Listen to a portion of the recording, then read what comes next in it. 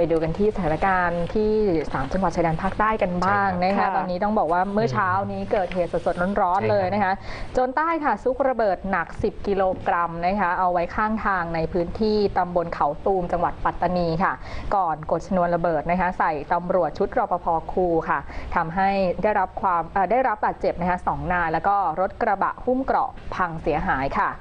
เมื่อเวลา 8 นาฬิกาวันนี้นะคะ ได้เกิดเหตุลอบวางระเบิดรถเจ้าหน้าที่ตำรวจสพบ้านสโรงอำเภอยะรังค่ะ จังหวัดปัตตานี โดยเหตุเกิดที่ในพื้นที่หมู่ 7 ตำบลเขาตูม เจ้าหน้าที่จึงสนที่กำลังนะคะ เข้าตรวจสอบพบรถกระบะหุ้มเกราะ ยี่ห้อโตโยต้าวีโก้ค่ะ ทะเบียนตาโร่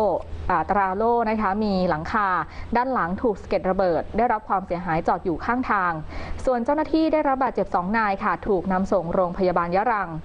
เจ้าหน้าที่เข้าตรวจสอบที่เกิดเหตุนะคะ พบหลุมระเบิด ริมถนนมีชิ้นส่วน แล้วก็สะเก็ดระเบิดกระจายไปทั่วบริเวณค่ะ จากการสอบสวนก็ทราบว่าขณะที่เจ้าหน้าที่ตำรวจ 6 นาย ชุดรักษาความปลอดภัยครู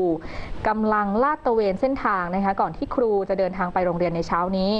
มาถึงที่เกิดเหตุคนร้ายซุกระเบิดแสวงเครื่องหนัก 10 กิโลกรัม เอาไว้ข้างทาง แล้วกดชนวนระเบิด เกิดระเบิดขึ้น จนทำให้เจ้าหน้าที่ตำรวจได้รับบาดเจ็บคาดนะคะ ว่าเป็นฝีมือของกลุ่มก่อเอ่อก่อความไม่สงบสร้างสถานการณ์ค่ะ